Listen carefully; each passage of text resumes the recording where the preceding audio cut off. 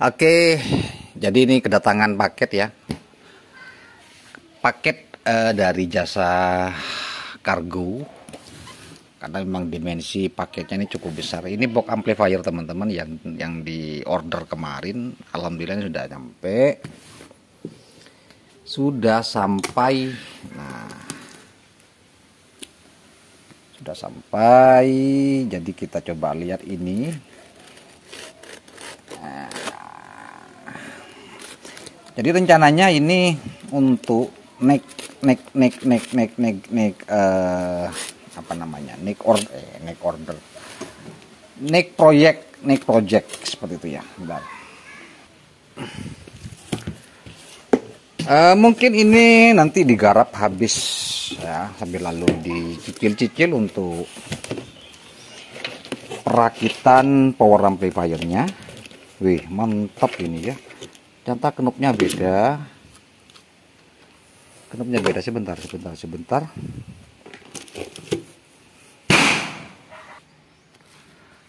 Nah seperti ini dia box yang saya order. MCX2 kalau kemarin yang uh, tulisannya PCX2 ini 4 channel. Ini untuk 4 channel teman-teman ya. Nah kita di sini juga mendapat ini. Mendapat PCB untuk panel indikator depan. Ya bagus ya kalau kita dapat seperti ini. Bisa lebih memudahkan kita dalam merakit dan menempatkan bagian-bagian untuk indikator display. Nah.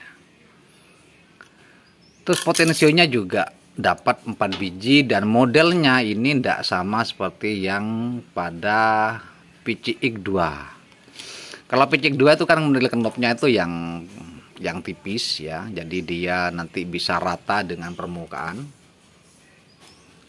Permukaan ininya. Kalau ini ya nanti pasti ini menonjol ya. Nah, menonjol seperti ini. Empat channel. Mantap.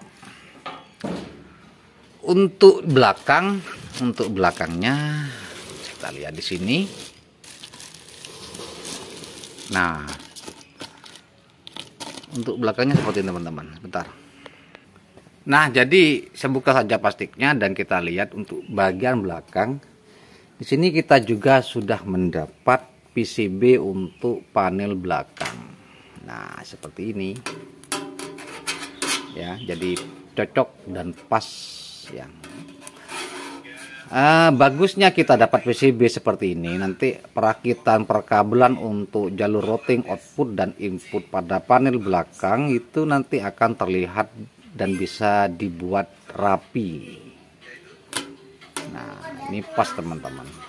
Nah, jadi outputnya di sini ada channel A B C dan D. Terus apa ini? Ini adalah untuk uh, building speaker ya.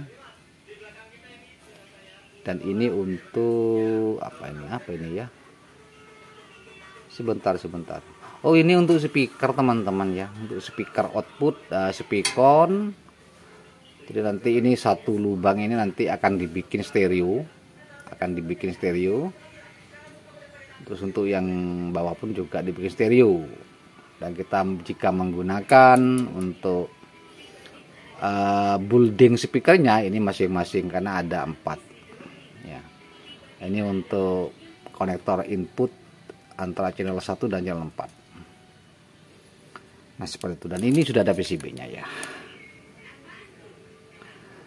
Dan saya kira box ini memang meskipun tidak terlalu tebal seperti merek Bell ya. Eh, tipe berapa itu yang kemarin pernah saya pakai. Tetapi ini adalah box yang terbaik saya kira ya.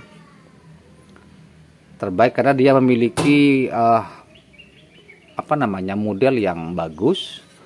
Termasuk pengerjaannya pun juga cukup rapi ya teman-teman. Ini tingginya ini 9 cm 9 cm jadi untuk kipas ini dia menggunakan ukuran 8 kali 8 cm seperti itu. Sebentar sebentar. Nah seperti ini dia. Nah jadi indikatornya seperti ini. Up, up, up, up, wih.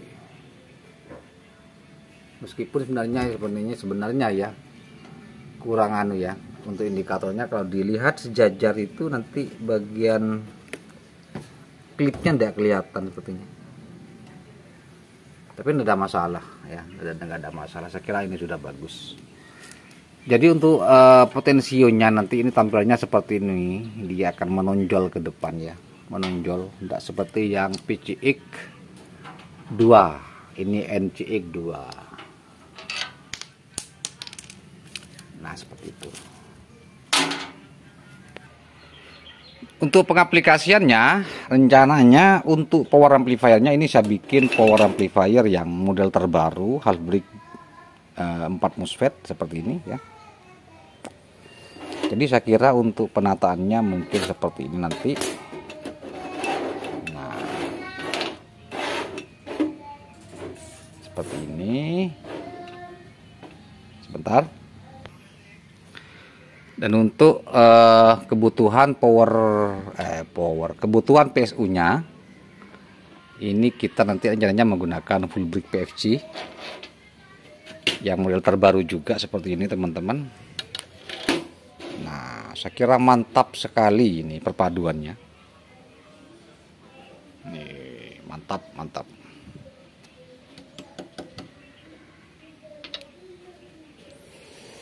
jadi mungkin ini sekedar apa namanya ya sekedar uh, mungkin bisa menjadi bayang-bayang atau bisa menjadi uh, unek-unek kita. Mungkin ada planning ke depan kita akan melakukan atau merakit power amplifier 4 channel.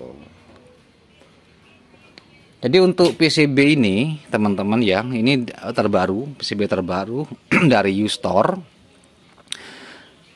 Uh, Tiger 2000 jadi saya kira untuk acara minimalis ini bagus sudah 4 channel bisa menghandle full ring. Ya.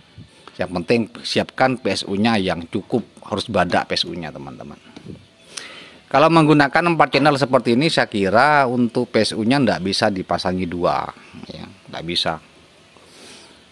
Tetapi dengan daya mungkin dimaksimalkan pada SMP-nya mungkin bisa kita setting di 5000 watt saya kira ini sudah lebih dari cukup untuk menghandle 4 ini.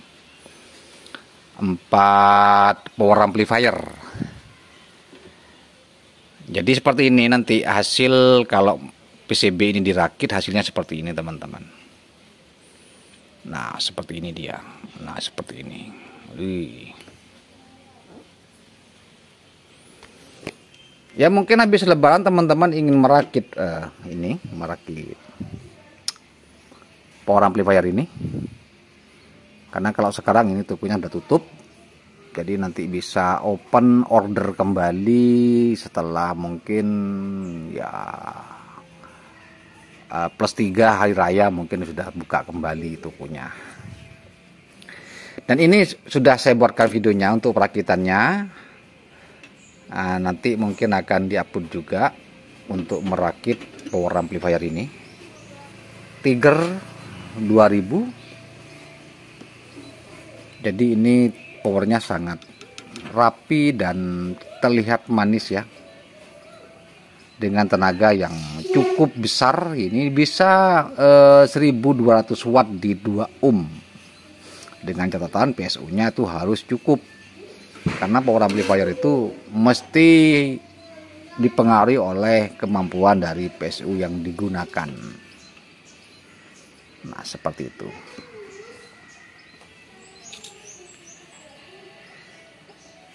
Jadi mungkin itu aja teman-teman ya.